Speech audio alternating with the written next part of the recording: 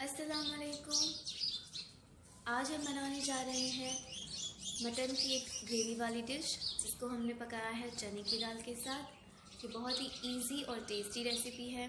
तो इस रेसिपी को बनाने के लिए हमने लिया है 500 ग्राम जितना मटन, और इसके अंदर हमें डालना है नमक और जिंजर गार्लिक चिली पेस्ट, तकरीबन तीन टेबल स्पून जितना और इसको अच्छे से मिक्स करना है और पाँच घंटे के लिए इसे मैरिनेट करना है।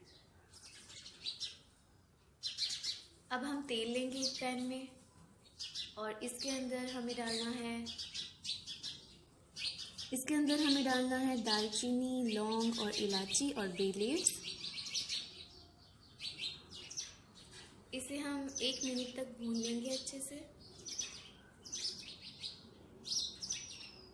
हमने लिया है दो प्याज, जिसकी मैंने प्योरी बना दी है। इसे भी हम ऐड करेंगे और तब तक भूनेंगे जब तक इसका कलर चेंज हो जाए।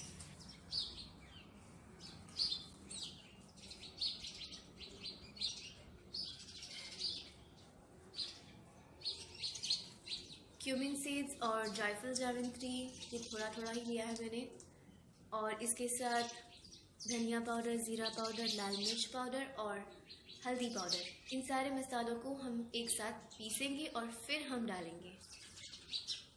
और इसको अच्छे से हम भून लेंगे ताकि इसका कच्चापन दूर हो जाए।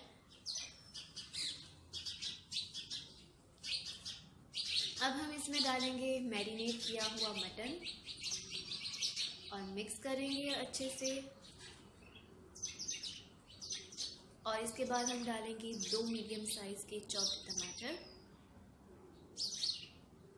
इसको भी थोड़ी देर पकाएँगे।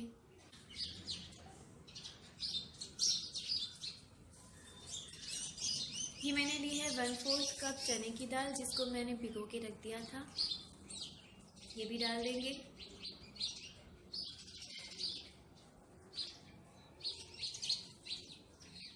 अब हम इसे पानी डालकर कुक करेंगे जब तक हमारा मटन गल ना जाए। मटन हमारा गल चुका है। अब हम इसके अंदर लौकी डालेंगे, जिसको हमने मोटा मोटा काट लिया है।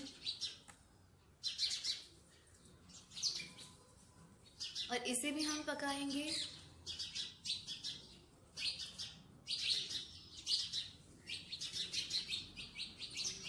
अब ये पक के रेडी है हमारा मटन। इसे हम सर्व करेंगे।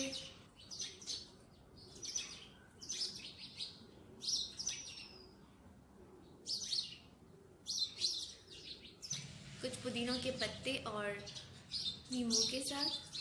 आप इसे नान के साथ भी खा सकते हैं, रोटी के साथ भी खा सकते हैं। ये बहुत ही इजी और टेस्टी रेसिपी है।